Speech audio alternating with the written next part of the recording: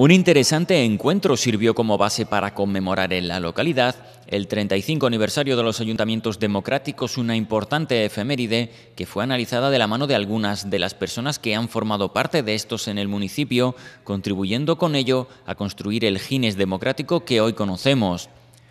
organizado desde la Asociación Agora Gines y la Concejalía Municipal de Participación Ciudadana, la jornada tuvo lugar el pasado viernes en el Salón de Actos de la Casa del Mayor.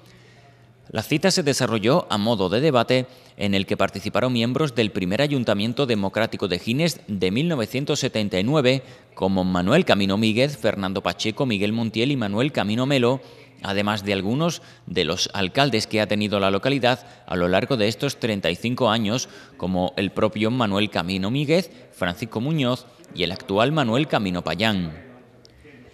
Moderado por Carmen Mora, el debate partió de un análisis tanto sociológico como político y urbano del municipio en 1979 para ir poco a poco analizando la evolución a todos estos niveles de la localidad hasta la actualidad, todo ello poniendo en valor el papel de aquellas personas que han ejercido la política en estos años trabajando por Gines.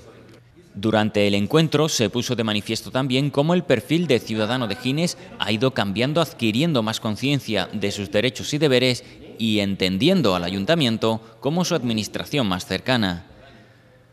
Con un balance de estos años y las miras puestas en el futuro, concluía este interesante encuentro en el que no dudaron en participar también varios de los asistentes planteando sus reflexiones al respecto.